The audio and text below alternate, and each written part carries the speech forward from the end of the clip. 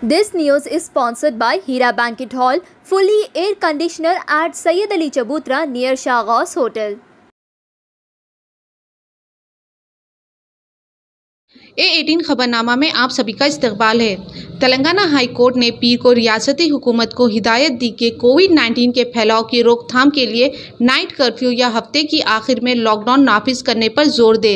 High court ने कहा, अगर हुकूमत अगले 48 घंटों में इस पर कार्रवाई नहीं करती है तो अदालत अहकाम मंजूर करेगी। तेलंगाना में कोविड 19 केसों की असल तादाद इससे दुगनी हो सकती है, जो डेली रियासती हुकूमत की जानब से मीडिया बुलेटिन में दिखाई जाती है। हुकूमत की जानब से मीडिया को ये ऐलान करने से पहले ज़िला सतह के सेहत के अहदेदारों के ज़रिए होने वाले केसों की तादाद में ज़बरदस्त कमी की जा रही है। The news India express paper की जानब से एक हकीकत जांचने के बाद तेरह अजला में सत्रह अप्रैल 2021 को कोविड 19 की असल कुल तादाद चार हज़ार आठ सौ अड़सठ थी। लेकिन जारी करदा मीडिया बुलेटिन में इन्हीं तेरह अजला की आदाद शुमार के मुताबिक कोविड नाइन्टीन केसों की मुजमई तादाद एक हज़ार छः सौ सत्ताईस बताई गई। रियासती हुकूमत ने इन तादाद को हैरत अंग्रेज़ तौर पर छसठ फ़ीसद कम कर दिया है।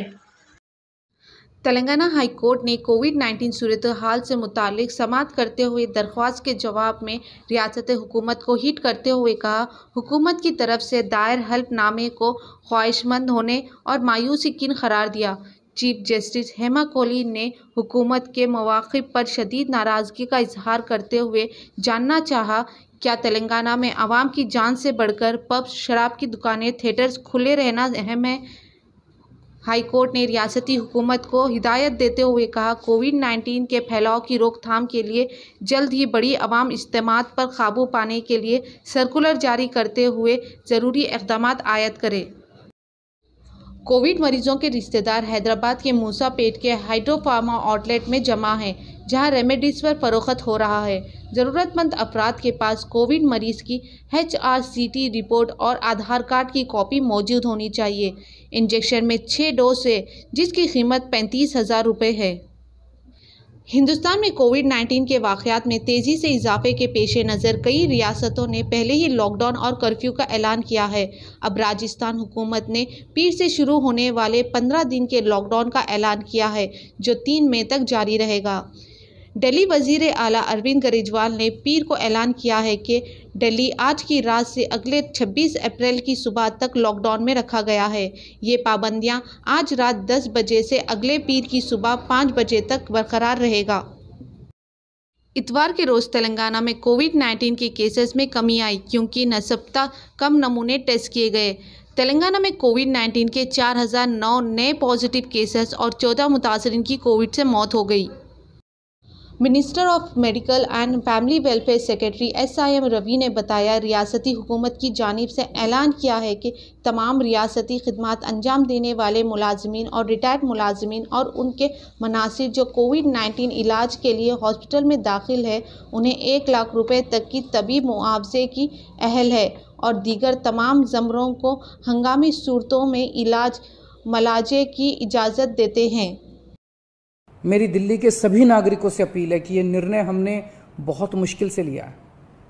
आप सब लोग जानते हैं कि मैं लॉकडाउन के सख्त खिलाफ रहा हूँ। हमेशा से मैंने लॉकडाउन का विरोध किया है।